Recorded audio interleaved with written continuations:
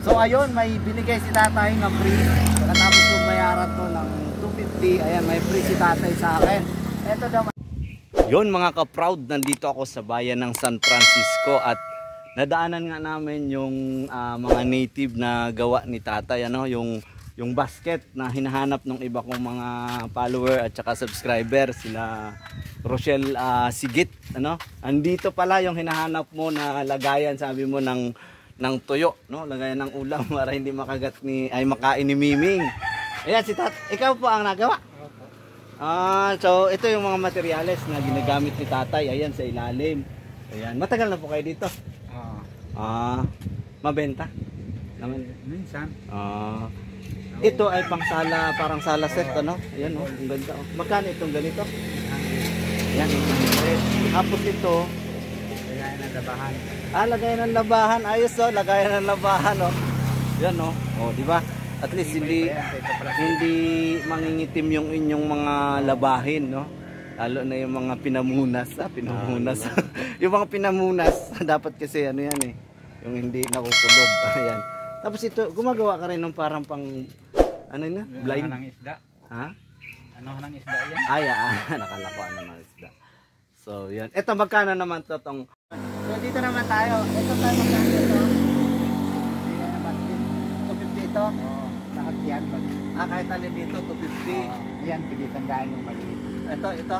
Ah, isang daan. Tapos ito, parang garapon na maganda yung pagkakagawa nito. Ayan, pakita ko to. Dalawang daan Ayan. yan. Ito 200, parang garapon siya. Ayan. So, gawa to sa an- anong materialis to tayo? Dito. Nito. Ah, so, nagagawa ka rin ng nito dito na ano, yung parang kainan. Oo. Oh, so Pinggan? lahat. Ha? Pinggan. Oo. Dito. Anong sitio ito tayo? Ano? Ayan mga ka-proud to, may gawa siya. Ito yung nito, no? Magawa nito. Magkano yung ganito tayo? Yung din ang bigay ko. Kung sila magkano isang dosena? 100. O, 400 isang dosena yung ganito. Yun. So, anong sitio ito, tay? Hindi ko maano. Sakop ng anong barangay ito? Tanong mo muna. Ah, ah hindi kabisado ni tatay. So, pero ito ay bago ka galing kami ng barangay Mabunga, no? Yung yung pinanggalingan namin tapos dito malapit na to sa bayan ng San Francisco mismo. Tapos dito sa Gawirito may gasolinahan. So katabi siya ng gasolinahan sa mga gustong pumunta dito. Yan. So eto, ah, per dosena 400 ang bigay ni tatay. Tapos ito, magkano to tayo? Sandaan. Ito ay 250. Tapos, yeah, pati ito, 250 din. Oh, yun. Malaki. Ito, malaki. Ito, ano. Yun, tapos may takip na. Tapos ito, yung parang garapon. Ay, magkano ito, tay? Dalawang daan. Ito, ano, anong, anong, Ano anong, ilaw? ha? Ano ang ilaw? Ah, sa ilaw. Yan, tapos i, i ano, so yun, pagka, ano, natuloy ko yung plano ko, gusto ko yung parang native kasi siya, oh, yun. Yan ilalagay yung ilaw. Ayun. So gawa siya sa nito. Ganito siya oh, yung bagil. Saan mo nakukuha yung mga materialis na to? tay? Ah, sa gubat. Yan. Yan, kunin ni tatay para ipakita sa atin yung materialis na ginagamit niya. Ito pala ay gawa lang to sa mga bagil. Yan. Gawa lang sa mga bagil. Ayan oh. Ito tayo, pagkakuha mo nito, papatuyuin mo. Ayan oh. Yan. Yun na, linisan ko na lang. Ah, lilinisan. Anong klaseng bagin to? Dito, matibay yan. So, marami namang nakukuha dito sa... Marami. Marami dito. Oh, oh ayan oh, kung napansin nyo, yung sombrero ni tatay, ano oh. Ayan oh. Oh, ayan oh. oh di ba? Ayos oh. Magkano to tay? Pilit tandaan. Oh, isang daan, yung ganito. Oh, ayan oh. Oh. Ayos, di ba? So, yun. So, kailangan na talaga ng ano no, medyo mahirap-hirap to tay kasi kung sa gubat, Oh. hindi to na itatanim. Yung ganitong materialis hindi na itatanim. Kusa siya tumutubo. Baka meron to doon sa amin din, sa gubat-gubat sa amin. Ano. Hindi ko lang kilala, wala kang Saan yung may doon? dahon pa. Saan doon? Malipat yaw kami na may mabunga. Malapit. Ito. So, yun. So talagang huminto lang kami dito, bumili kami ng tub, ah, hose para sa tubig namin doon sa farm ko. Yun. Eh nakita ko to, napansin ko to kanina nung papunta pa lang kami doon. So yun, bibili ako Kangkat tsaka si ah, ah, Missy makulit. Kinakain yung tuyo namin tapos ang ginagawa ko nasa lata siya ng biskwit eh umiiba yung amoy, amoy ano eh, pagka nakulob yung tuyo, amoy, tumatawa yung cameraman ko. Alam niya eh, kasi siya yung nagluluto. Pagka minsan sa umaga, pag nagpiprito kami ng, ng tuyo, amoy ano daw eh. Yun, basta yun. Hindi, ito.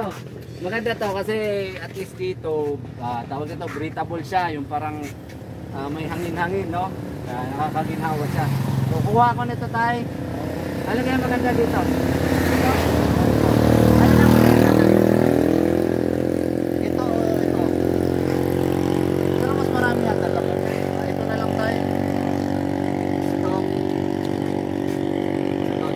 Yan. So, okay. Yan mga ka-proud. Gawang Pinoy, no? Ah, suportahan natin yung mga gawang Pinoy dahil konti na lang talaga yung mga marurunong gumawa ng ganito. So nakakatuwa ka. Sana ma-share ni tatay bago siya alam natin na lahat tayo lumilisan sa mundo bago siya lumisan sa mundo, no? Pero malakas pa si tatay. Ilan taon ka na tay? Ano? 60. Pwede 50. Oo, oh, mahigit 50 na si tatay. So bago ka mag-60 tayo, dapat may turuan kang apo, may apo ka. Yon, turuan mo siya para kahit pa paano may pagpatuloy pa rin natin yung mga ganitong ah, mga produkto, no? May gumawa pa rin ng mga ganitong produkto. So yun lang. Mabuhay, God bless. So ayun, may binigay si tatay na free. Pagkatapos kong bayaran to ng 250, ayan, may free si tatay sa akin. Ito daw ay lagayan ng kutsara, ayan. So maganda talaga yung mga native, ano. Ayan, lagayan ng kutsara, ayan. O, pakita ko sa inyo, ayan, may takip siya, ayan. So si tatay, ah, dito nakatira, ah, taga Pugawan siya, medyo malayo-layo siya dito. Pero kaibigan niya yung yung may gasolinahan dito sa bago pumasok ng bayan ng San Francisco ay nandito lang sila sa gawing kanan. Yata ito ay nabuan. Inabuan ito? So may dagat na diyan malapit na. Ah, oh, so ito ay barangay Inabuan ano. Eh, hindi ko rin kasi kayo bisado tong lugar na to kasi taga San Andres ako. Taga bayan ng San Andres ako. So naligaw lang ako dito kasi bumili nga kami ng host para doon sa aking farm. So yan, nadaan ako sa tatay. So yun, ito yung kanyang free, no? So best uh, things in life is free. Salamat tay. Sige. So ayun, may binigay si tatay na free.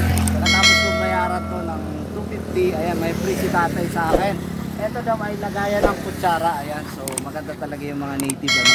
Ayan, lagayan ng kutsara, ayan. O, pakita ko sa inyo, ayan, may takip siya, ayan. So si tatay, ah, dito nakatira, ah, taga Pugawan